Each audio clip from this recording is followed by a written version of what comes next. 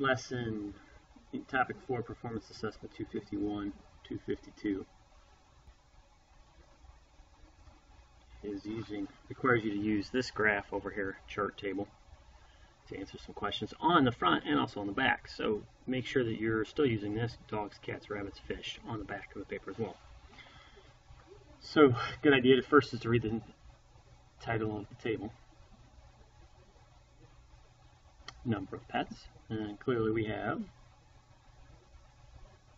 these four animals, which hopefully you're reading along with me. Dogs, cats, rabbits, fish.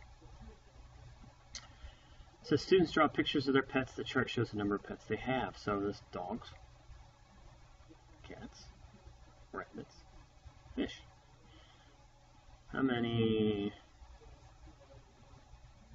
dogs and cats do the students have? Show your work pretty straightforward. All you're going to do is take two numbers, dogs and cats, show your work, what do they have? A couple different ways you can do it.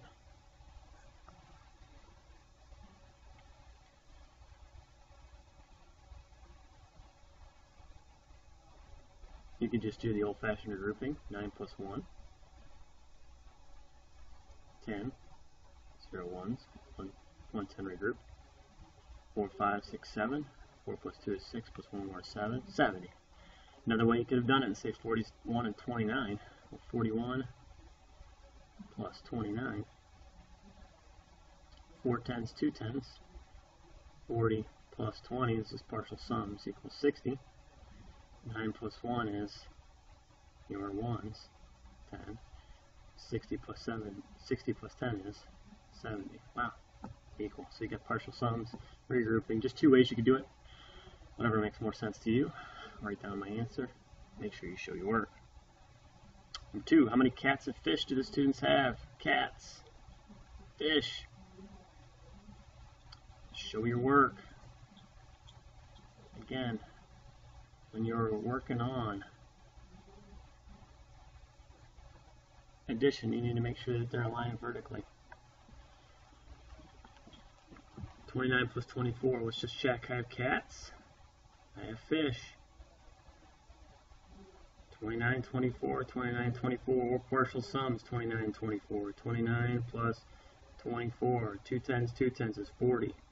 9 tens, I mean 9 ones, 4 ones, 9 ones, 4 ones, 13. Partial sums, doesn't require any regroupments, 53. Let's check over here, 9 plus 4, 13.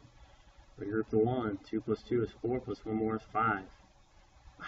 Partial sums, regrouping. Same answer. Same sum. 53.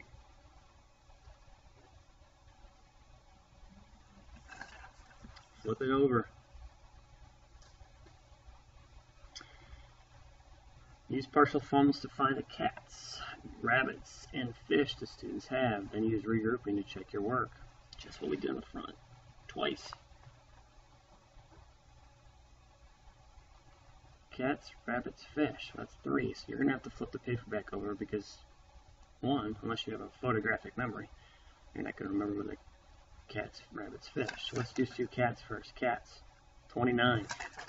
Write it in. Rabbits. Flip it over. Let's check for rabbits. Six. This is when it gets tricky. If you put the six in the tens, you'll have 60 instead of six ones. Third but not least, fish. 24.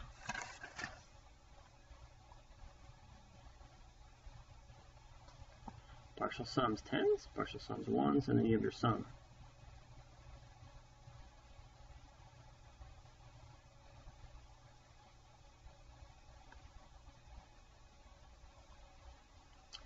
Two tens, two tens. Two plus ten, two plus two is four, four tens is 40. Ones. 9 plus 6 plus 4. The trick we've been, the strategy, the skill we've been working on is finding two numbers you can add together to make a 10. 6 plus 4 makes a 10. 10 plus 9, 19. Adding these together, this is your break line. Everything down here, the 10s and 1s, find your sum. 0 plus 9 is 9. 4 plus 1 is 5. Now, it says check it with regrouping. It says you re use regrouping to check your work. You can't just take 59 and write it down here yet. You gotta double check it. All you're gonna do is take these three numbers and put them in. There's three of them. One, two, three. 29, 6, 24. You can stack them 29, 24, 6 in descending order. Biggest to smallest, greatest to least. This works as well. 6 and 4, again, is 10. 10 plus 9 is 19, but we put the 9 down for 9 ones, regroup the 1. There's your regroup. 2 plus 2 is 4, plus 1 more is 5. Ding, ding, ding, ding, ding. 59, 59. That's when you know either you did it wrong two times, or you did it right. 5. Students also draw 10 hamsters, 19 birds, and 5 mice. Complete the model.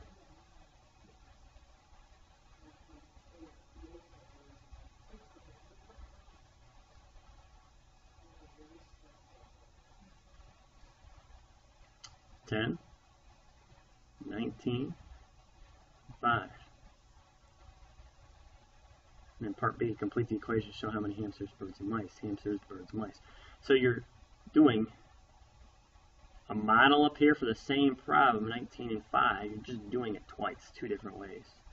Model here, so you're trying to find this answer and this answer exactly the same. This is an equation, this is a model. Now you need to add them. My suggestion, either use partial, partial sums or stack them, regroup them, write your total. So here's two ways to do it. I'll show you one way down here and up here. So 10, 19, 5. Those are stacked. You can add them. Down here, partial sums. I've got 110, 2 tens, 20. Plus, let's add the ones. 9 and 5, 14. Partial sums. The tens, I have two tens, and 0 and 9 and 5 is 14. 20 plus 14 is your partial sums. Up here is 9 plus 5 is 14. Regroup the 1. 1, 2, 3, 34. Down here, 0 plus 4 is 4. 2 plus 1 is 3. 34, 34, 34, 34.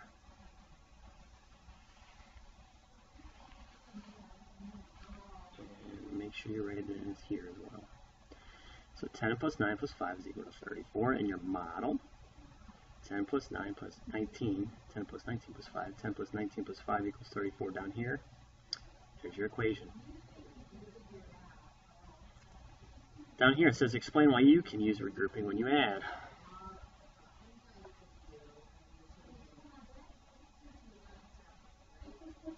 Explain why you can use regrouping when you add.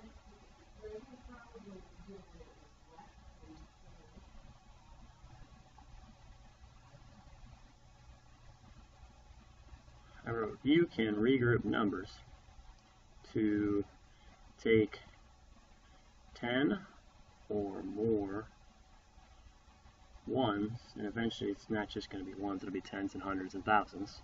You can regroup numbers to take 10 or more ones and